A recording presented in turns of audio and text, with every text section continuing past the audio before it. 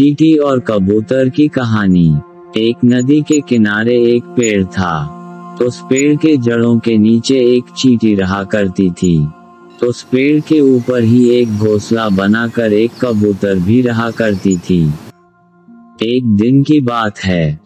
चींटी पानी पीने के लिए नदी की ओर गई। नदी में एकाएक बहाव उठा और चींटी पानी में डूबने लगी। चींटी अब डूब कर मरने वाली ही थी।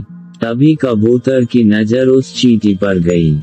कबूतर ने पेड़ से एक पत्ते को तोड़कर नदी में उस स्थान पर गिराया, जहाँ चींटी डूब रही थी। चींटी पत्ते पर चढ़कर अपनी जान बचा ली। नदी के बाहर आने के बाद चींटी कबूतर को धन्यवाद कहना चाहती थी, लेकिन उसे कबूतर मिलती ही नहीं थी।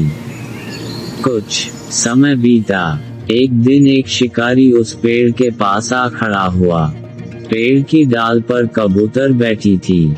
शिकारी ने अपने बंदूक से कबूतर पर निशाना लगाने वाला ही था कि शिकारी को चीटी ने देख लिया।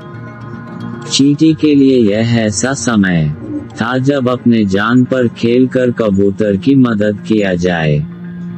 चींटी जल्दी से शिकारी के पास जाकर शिकारी के पैर में काट लिया।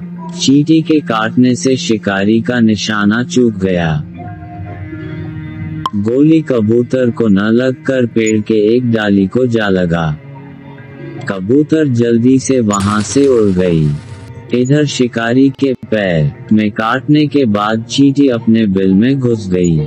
चींटी और कबूतर की कहानी से हमें सीख मिलता है कि हमें किसी की भी मदद कर देना चाहिए।